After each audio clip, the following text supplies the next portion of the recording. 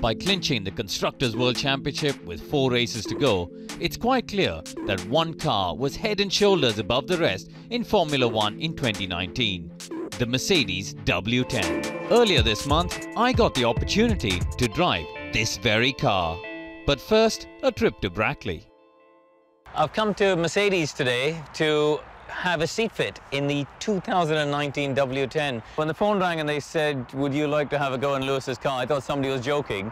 The next I know, I had an email from Mercedes arranging the date for a seat fit and a simulator session and a time with their engineers to learn about all the controls on the steering wheel and stuff. So it's going to be a busy day at the factory, um, but most importantly, going to have a go next week.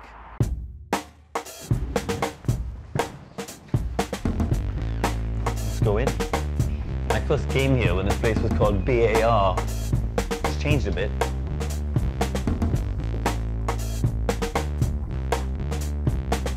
I think the, the column position is actually okay.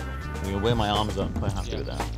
This little padding there is quite nice actually for the lower back support. We'll be running a Strat 7 when you're on track. I'll always give you the okay. Strat 7 just before you get to the final corner. Just switch over. Okay, I think we're I think we're there. That was actually one of my easier seat fits. I've been at seat fits sometimes, just taking 12, 14 hours. But fortunately, I fit straight into Valtteri's seat, which was surprisingly comfortable. Even all the padding he's got for his back and shoulders was, was spot on. Um, Lewis's his pedals were a bit close, so I've got Esteban Ocon's pedals and Lewis's steering wheel and column. So I've got a bit, bit of a mixed match, but we made it work, and I'm comfy in there. So yeah, very happy. Every simulator is just a little bit different. This is, I feel like I'm getting into Anthony's domain, really. He pretty much lives in this room, from what I hear. It'll be one on the out lap.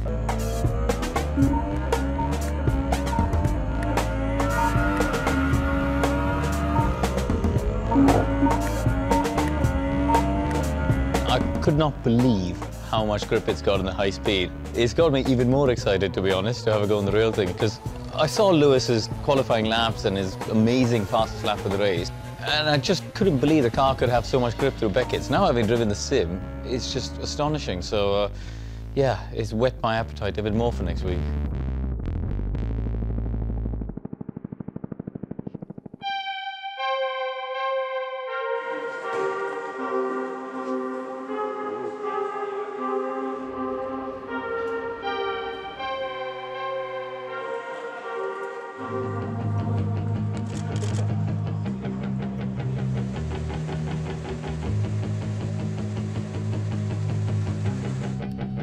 So I'm strapped in. The guys have put the tyres on with the blankets. Um, the car is going to get fired up and then uh, away I go for an installation lap. So just a systems check, get everything a little bit warm. It's a cold day today at Silverstone. It's only eight degrees, so it's uh, it's going to take a little while to get everything up to temperature. Radio check, radio check. Loud and clear. Right, the engine's fired up into first gear.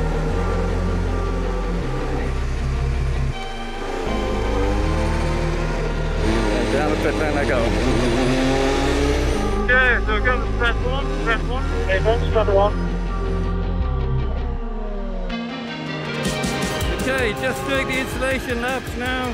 The car feels so together. We're on wets just to build up a bit of temperature. Just a beautifully built car. There's no rattling, there's no strange vibrations. You feel at one, the whole car feels so at one.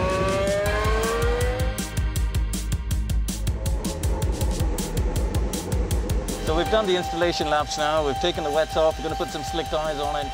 We've changed some of the settings for, for this next run. So typically with the morning cars, with the hybrids, you need to charge it up on the out laps as well as the in lap before you come into the pits and then you get that chunk of running in the middle where you can use the full deployment. So uh, yeah, there's a lot more complexities involved with these hybrid cars compared to the V8s.